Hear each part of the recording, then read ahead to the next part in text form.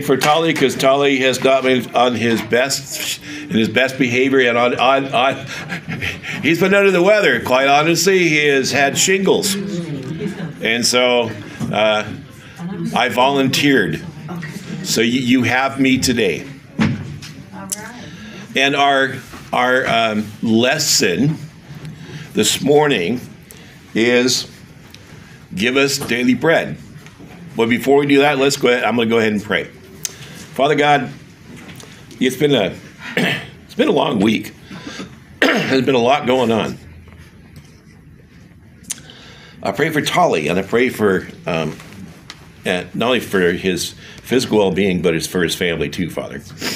Uh, pray for Vivian. I pray God that you just bless her and help her, and um, just pray God that you just uh, cover us this morning with your your grace and. Uh, help me as I as I minister this morning and preach and pray God that it would just come through and that your word would shine. In Jesus' name I pray. Amen. So we've been talking about the Lord's the, the Lord's Prayer or the the um, Sermon on the Mount. Sermon on the Mount. It's not going. Okay, maybe I'm not hitting it right. Is it on? Yeah, it's on. Tolly, show me. There we go. There we go. All right, so this is a Sermon on the Mount. And um, this lesson we're going to talk about today is called Give Us Our Daily Bread. Hit the other one. Hit the other one. Ah, there we go. Give us our our daily. That's what it was. It was my. It was. It was. It wasn't. It wasn't I didn't do it. You didn't do it. so it's the Sermon on the Mount, and it's just remember it's a model prayer, and this prayer is just asking. Um, his disciples came to him and says, "Well, you know, teach us to pray," and that's what he was. That's what this prayer's the the model prayer is all about. And we can glean from that. We can help from that. We can get some information about that. That we can um, kind of dig into it. Okay, so a little boy was asked at um, Sunday school, what is prayer? And his response was asking God for stuff. That's pretty typical. You know, that's what we that's what we do sometimes. Okay, but it's more than that. Okay. what is prayer? Well, let's find out what it is not. Okay? Prayer is not about informing God of something he doesn't already know, he already knows it. Prayer is not a means by which we get what we want by somehow manipulating God, but rather the nurture our relationship with God. Notice the na- the main point there is the word relationship. So it's a two-way street. We can ask we can ask God for certain things. We can ask God for anything, right? Is there anything that God doesn't want us to have? As long as it's what? In his will, right? Okay. So what is prayer? Prayer prayer's proper purpose might even be a change in us rather than simply a change in our situation to reinforce our confidence in God's sufficiency and realign our will with His. And I think sometimes what happens is that we get out of, we kind of get out of sync a little bit. Okay? Sometimes we just kind of like, um, well, we treat God like Santa Claus. And sometimes we just kind of like go right to the, you know, right to the very beginning and say, this is what I need which is okay. But there's a proper sequence in this model prayer of what we should do first, and then go to God with our requests. It says, you know, we're to honor God, we're to honor His name, and we're to submit to His will. That's really important. Okay. So sometimes I feel sometimes as Christians, um, if we don't get an answer to prayer, we feel that God has abandoned us or God doesn't care.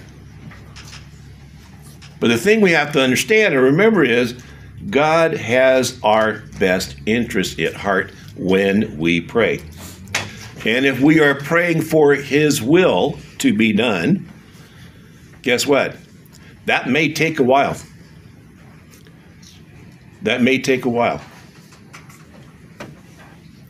But here's the beautiful thing about being a Christian we can go to a God. We can ask God for what we need. And God says, Oh, okay, here's what I request from you, from us. It's really hard to get through this because, quite honestly, folks, I get anxious. How many of you get anxious? you got the human nature. But here's what God says God says, don't be anxious about anything. Anything. In everything by prayer and supplication, and here's the key with thanksgiving, let your requests be made known of God. So, is there anything that we can pray for that God doesn't understand? God understands everything. But it's our human nature to be anxious. And, folks, there's nothing too big for God. Nothing too big. Even, even with Tolly's shingles, there's nothing too big for God. There's nothing too small for God. And God wants the best for us. Amen? Amen? He wants the best for us. So don't be anxious in anything. And you know what? It's okay to pray about that. It's okay to give God the glory and the honor and then say, God, I'm anxious. I am anxious. I'm frustrated. I'm I'm I have angst. It's okay to ask that. And then it's okay to ask for peace. Right, Tully? Yeah. Yes, absolutely. It's okay to ask for peace. There's nothing wrong with that. In fact, God wants that. Okay? But our request should include our need for provision, give us daily bread, and that's what we're going to talk about today. Our need for pardon, forgive us our debts, and our need for protection, lead us not into temptation. So as we as we break down the Lord's Prayer and we break this down and we talk about it, want to keep that in mind that you have in in in the proper way of looking at the Lord's Prayer. Give us daily bread, our need for pardon, and our need for protection. The nature of our request bread is a provision for the present. This is from John MacArthur. I like this, is really good. Bread is a provision for the present. Forgiveness is the provision for the past. And God's leading is a provision for the future. That's really that's really good. God wants us to understand that there's the there's the past, there's the present, there's the provision, and there's the future. And as we as we delve into this lesson on giving daily bread, we should understand that God wants us to ask for daily bread. He wants us to ask for protection and providing for the past. And he wants us to lead in the future. That's what it, that's again, this is the model prayer. Okay? But here's a lawyer's request for bread. This is really good. This is not for me. This is from this is from somebody else. We respectfully petition, request, and entreat that due an adequate provision pr- to be made this day and the date hereafter, subscribe for the satisfying of these petitioners' nutritional requirements. Whoa, I kicked it off. I'm sorry, I kicked it off. How do I kick it back on? I don't know. Oh, here we go. The quantities of baked cereal products shall, and in the judgment of the herefore said petitioners, constitute a sufficient supply of thereof. Does it have to be? does it have to be complicated? No. Nola and I experienced this. I was new. I was a new Christian. Well, within nine years anyway, and uh, we attended a we attended a, a Christian church in Fall Creek, Oregon. Beautiful, beautiful, beautiful, absolutely beautiful. It was on a hill. It was an old school. There was a meadow. And there was a river running out, and there was all kinds of horses and cattle and stuff like that. It was just amazing. Anyway, talking about flowery words and stuff like that. It was one of the elders. And there's nothing wrong with with King James. I don't not say anything about King James at all. It's just an opinion. okay, um, when he would pray, he would pray in King James, and there were some things that I had to ask Nola about because I wasn't versed in the King James version of the Bible, and I had to ask her. Right, I had to ask you what they were talking about because I didn't have a clue. Okay, He wondered what betrothed meant. And the lady said, Lord, please bless these that have been betrothed. and I couldn't. I didn't know what betrothed means. Anyway, the idea there is that you know it was okay to do that because that's what he felt comfortable with, but I had no clue. Okay, so God doesn't really care one way or the other what kind of words we use. The the idea is He wants that relationship with us so that His kingdom can continue to grow. Okay? And that's what we're going to talk about today.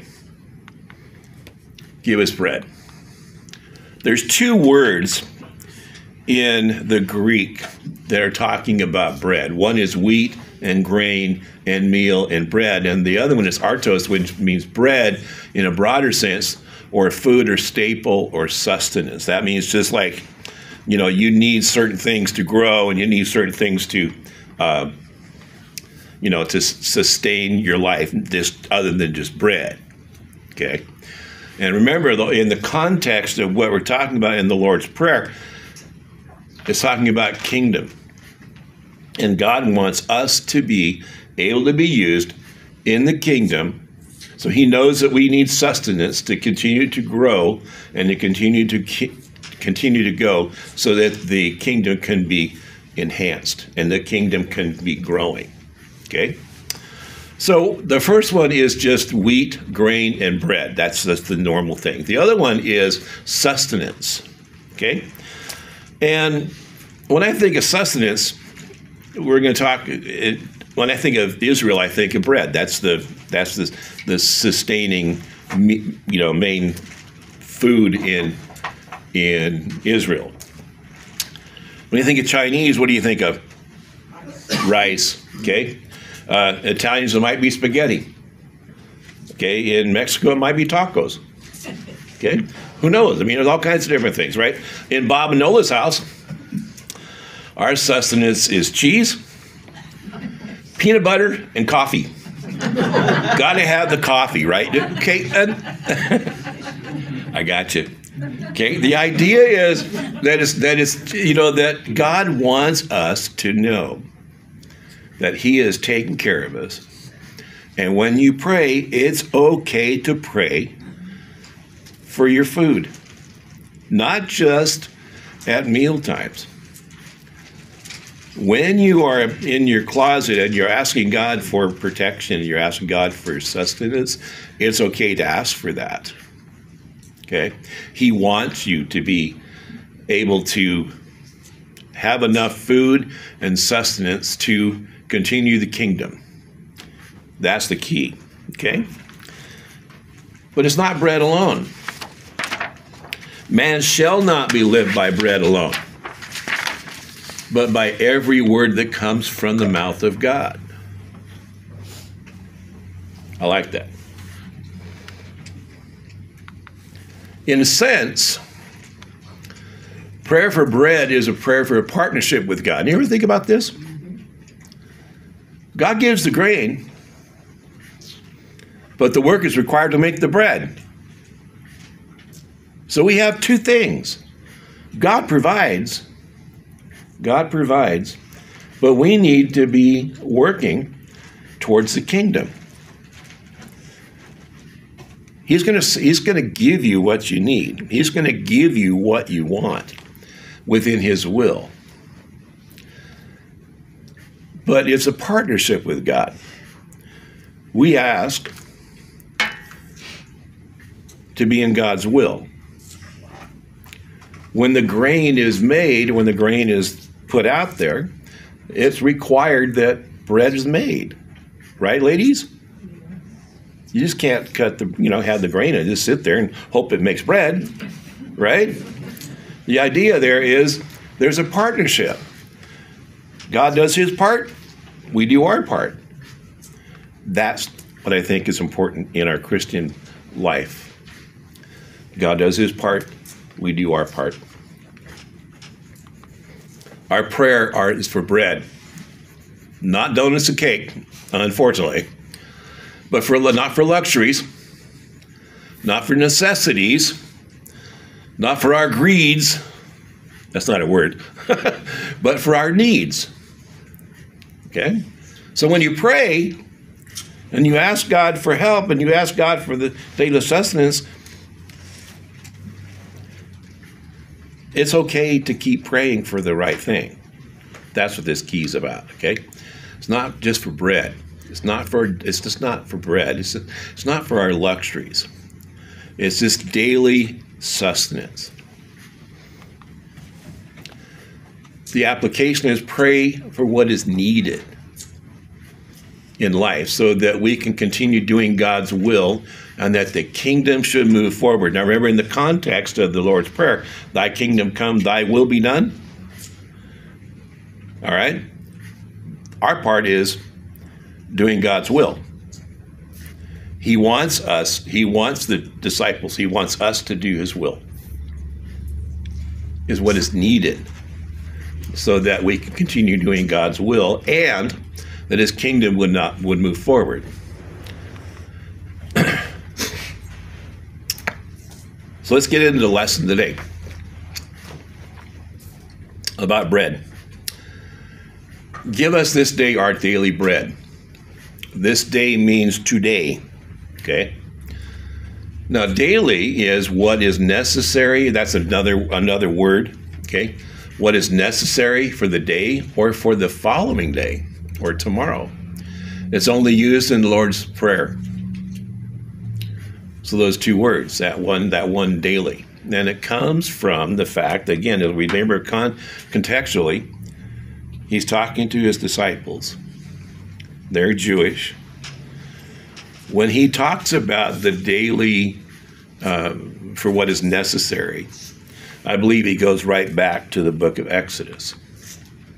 I remember this. Remember the uh, the beauty of what God did for the people of Israel.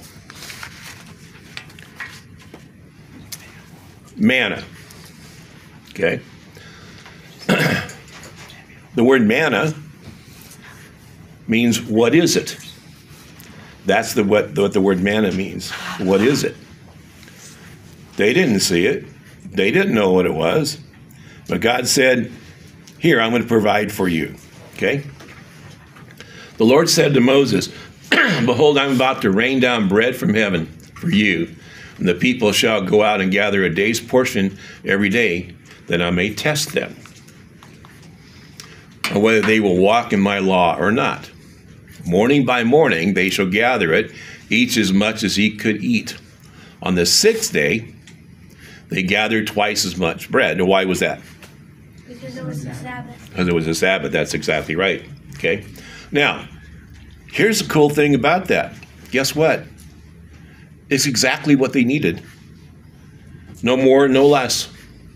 They tried to hoard more than they wanted. Guess what happened? It went bad whole bunch of worms would come in and, and eat it up. They got just what they needed. No more and no less. There wasn't any reason to hoard it. Because the next day, God would provide for it. Put yourself in that context. Do we go out of our way and maybe make plans and stuff like that that maybe we don't need to make? Do we hoard things? Do we gather things that we may not need? Don't know. But the idea here is this is that God provided for the people of Israel what they needed. No more, no less. And that's important for us.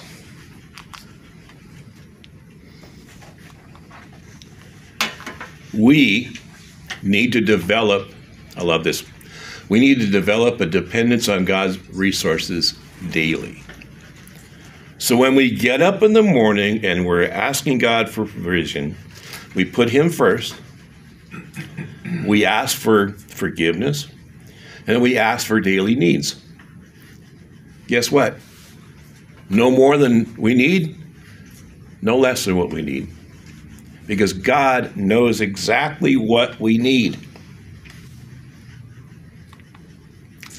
Two things I ask. I love this.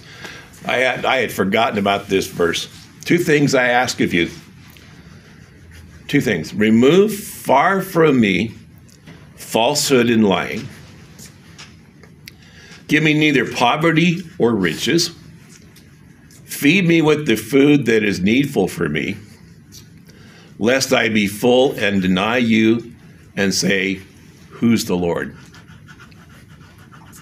And, or at least be poor and steal and profane the name of your God. He's asking us to remember to pray for our daily needs.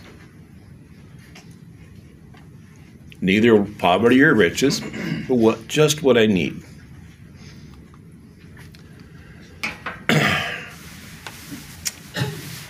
And I will admit to you that this week has been a tough week for Nola and I. We've been anxious. I'm just being flat out honest.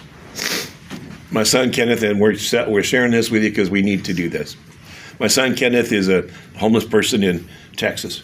Okay, he's in a facility. He he passes his his his paper his paperwork and stuff like that. They put him on a bus. He decided to go to Portland. We don't know what he's going to do when he gets there. We don't know. We don't know where he's going to go. We don't know what any facilities there. He doesn't have a jacket. He doesn't have a backpack. He doesn't have a sleeping bag. He's going to one of the he's going from one of the warmest places in the United States to one of the coldest places in the United States. That was his choice. But his parents, and he's 34 years old, his parents, we've been anxious. we've been anxious. And so what we're doing is this particular verse of scripture has been a blessing to Nola and I this week. Therefore, I tell you, do not be anxious about your life, what you will eat or what you will drink, nor about your body, what you will put on. Is not life more than food? And the body more than clothing? I love this. This is so this is so beautiful. Look at the birds of the air. They neither sow nor reap nor gather into barns, yet your heavenly Father feeds them. Are you not more than valuable than they are? And which of you, by being anxious, can add a single hour to his span of life? It's hard sometimes. And when you are anxious about clothing, consider the lilies of the field, how they grow. They neither toil or spin. Yet I tell you, not even Solomon in all his glory was not arrayed like one of these. But if God so clothed the grass of the field, oh, I did again. Your heavenly Father knows, get this, what you need them all food, clothing, and shelter. But seek first the kingdom of God and his righteousness, and all these things will be added to you. Therefore, do not be anxious. Lord, but I am. I'm anxious. Put it at the foot of the cross. Therefore, do not be anxious about tomorrow, for tomorrow will be anxious in itself. Amen.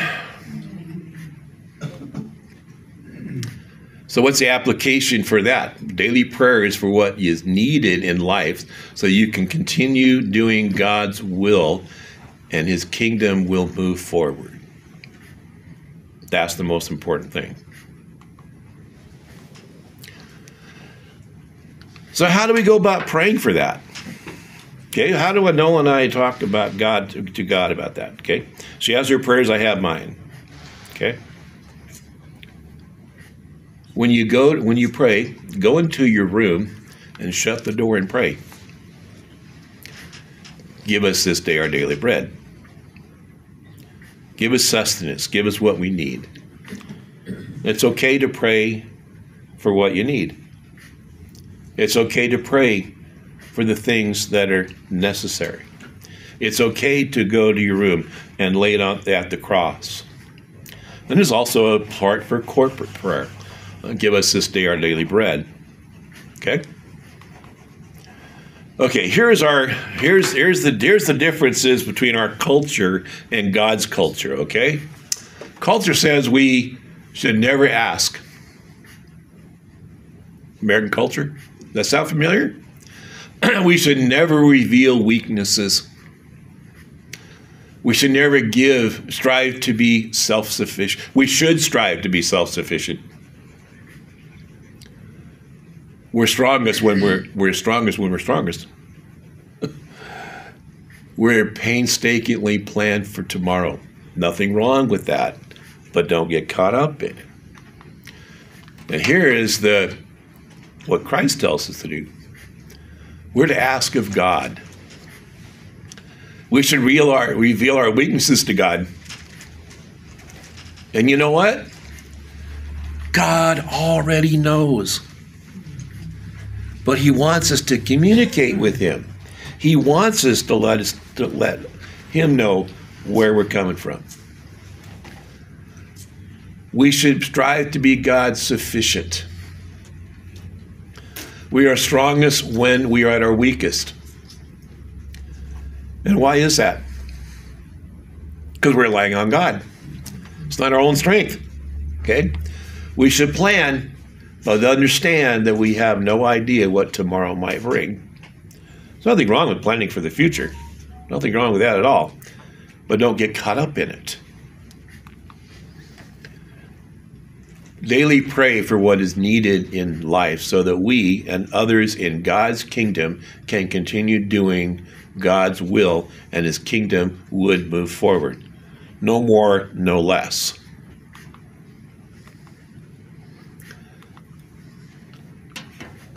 Daily dependence. Daily dependence.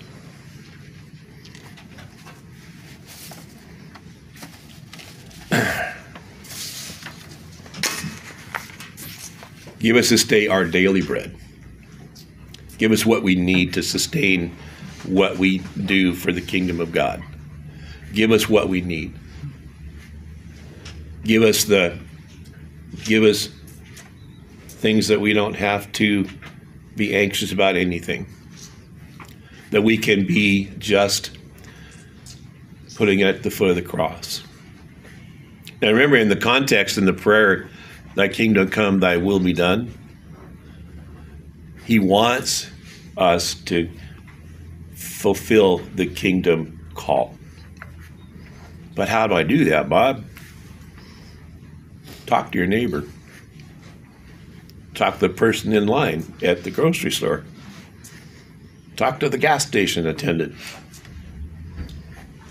Pray for the martyrs across the world.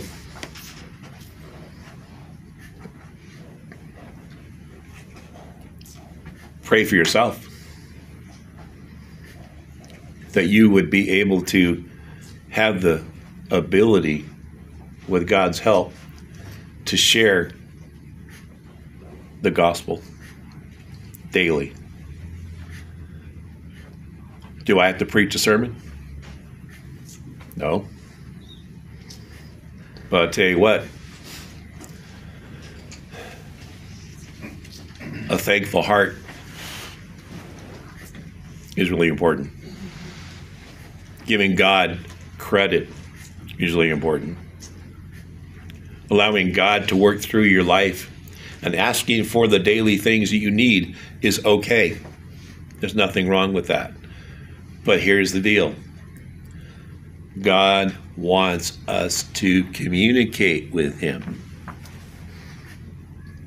He already knows what we need. He already knows that. He already knows what we need.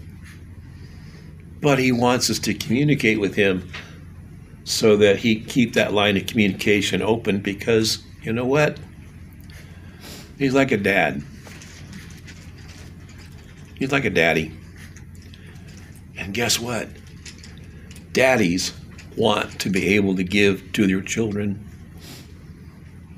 And that's what God wants to do for us. He wants to do that for us. Let's pray. Thank you, Father, for giving us just a little glimpse of how much you love us. We do ask God that you'd uh, uh, take those anxious thoughts away from us, that you would um, just um, help us to focus on uh, our daily needs so that the kingdom could continue and that we can share and to you know and and to give an opportunity to that's within us to share the gospel. It doesn't have to be big. It just has to be we just have to be willing to be able to do it and want to do it i just ask god that you would uh, uh, would bless the rest of our morning and thank you for for answering prayers about my son Kenneth. In Jesus' name I pray. Amen. So we come to um, the Lord's Supper. Um, I think it's important. I think it'd be important today to just give thanks in your in your in your quiet time. Give thanks for what for your daily bread, for your sustenance. And you know what? that Jesus dying on the cross, we didn't deserve it. He didn't deserve it to go to the cross. But he did it for us. He did it for us. That empty grave, that empty grave, he did it for us. I don't know about you, but I'm thankful for that grave. Amen. I'm thankful for the cross. Because you know what? It could have been me. Could have been me in my sins. Thank you, Father, that we have the opportunity to come and to think about who you are and what you did on the cross what you did on the what you did in the grave, and that you overcame you overcame the death on the cross because you said you're going to. I ask God as we uh, as we think about um, our daily needs. Um, I just thank you, Father, that you provide for our needs, and that we have necess- the necessities of life. So many people in the world don't have that. So many people in the world don't have Jesus. Help us not take that lightly. In Jesus' name I pray. Amen. As the message, as the song um, plays, you can go ahead and take the uh, communion and uh, just take it to your seat and enjoy. Oh, it's okay. Thank you. It's gluten free. Thank you.